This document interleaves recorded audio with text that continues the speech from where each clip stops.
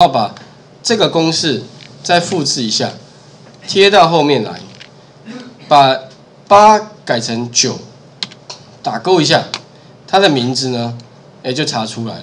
所以将来呢，我要把账单给谁？这个人，他住几号房？他住在一样哈，根据他去查他的几号房。所以几号房呢？是在第 F 栏，那应该是第六栏嘛，对不对？A、B、C 六嘛，好，OK，好。那我们如果第六栏怎么查最快？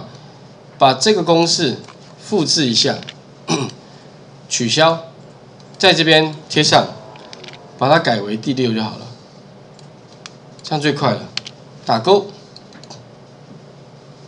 哎，少了一个等于，好，OK。三七二，好，全部查完了。住几晚？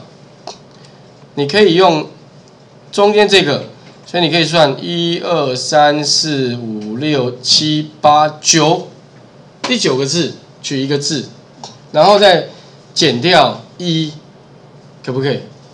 可以啊，应该没问题，因为前面是几天，那你扣一就是几晚了嘛，对不对哈？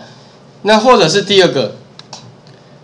这边 check out 减 check in，那就是把第五栏的资料减掉第四栏也可以了啊。两种反正你自己选一个。那我用诶等于我用那个第二种方法好了。第五栏，因为其实其实只要贴一贴就好了。好，减第四栏，哎，感觉好像第二种方法比较简单，但是长度比较长。好，OK，两种方法，我想各位可以都可以试试看看。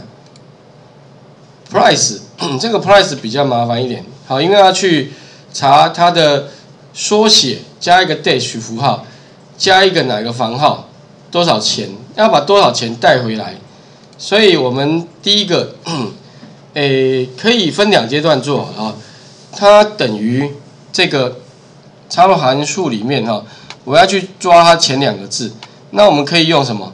文字里面的前两个字 left。这个字串里面的两个字，好，然后按确定。其实你抓三个字也可以了，刚好一个 dash，好，不过我们 dash 后自己打也可以了啊，都可以。end 这个哈，应该叫念 minus 哈，OK 哈，哎减减哦，然后 end 什么房号打勾，哎有没有？确定一下它的哪一个饭店，哪一个房间？可是这个不是 price，用它去查询，好，OK。